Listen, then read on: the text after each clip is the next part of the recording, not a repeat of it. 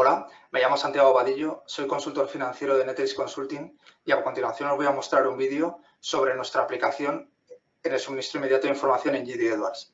El propósito de este vídeo es mostraros las ventajas que nuestra aplicación tiene respecto al parche estándar de Oracle, comparando ambas aplicaciones.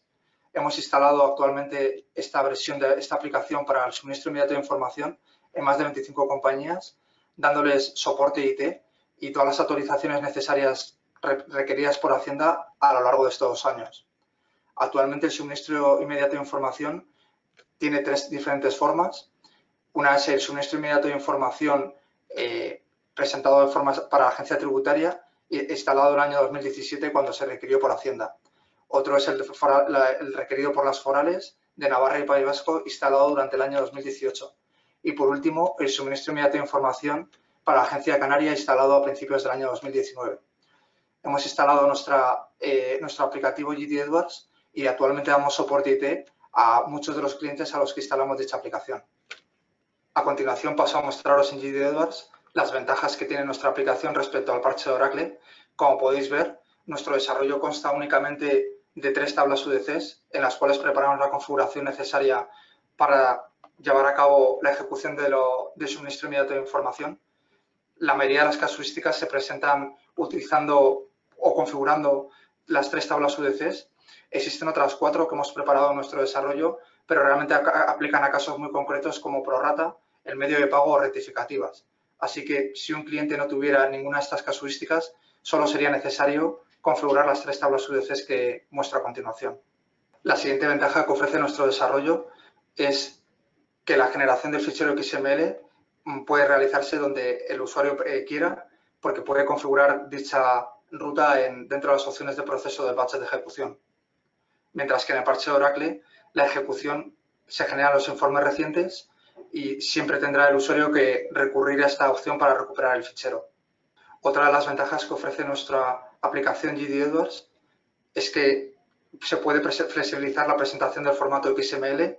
No todos los clientes presentan directamente a la agencia tributaria dicho fichero, sino que algunas utilizan empresas intermediarias a las que envían el fichero en un formato distinto y esa empresa intermediaria, realizando un procesamiento específico de ese fichero, envía eh, finalmente el fichero a la agencia tributaria.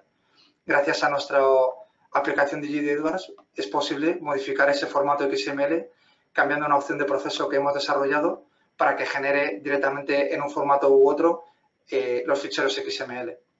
Otra de las ventajas que presenta nuestro aplicativo GDORS respecto a la, parche realizado por Oracle es que mientras que en Oracle es necesario realizar mm, la configuración en muchas aplicaciones, en muchas pantallas, en 13 UDCs, con nuestro aplicativo centralizamos toda la operativa de configuración en torno a un único batch que contiene un montón de opciones de proceso que sirven para adaptarse a las distintas necesidades de los clientes.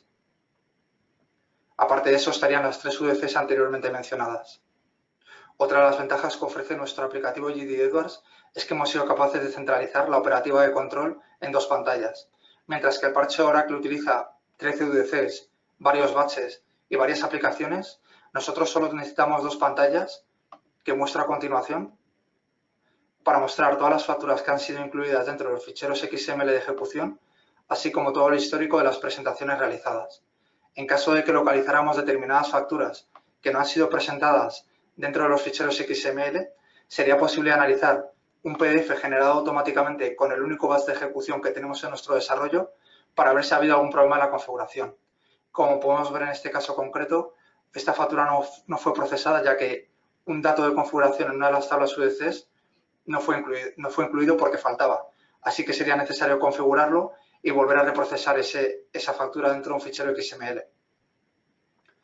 Otra de las posibilidades que ofrece estas dos pantallas es ver si la respuesta de Hacienda a nuestras presentaciones es correcta o ha sido incorrecta.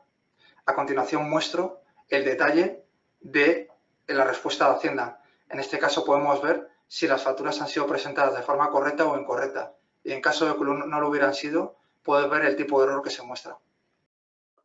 Muchas gracias por vuestro tiempo. Si queréis más información, podéis visitar nuestra web netrist.com.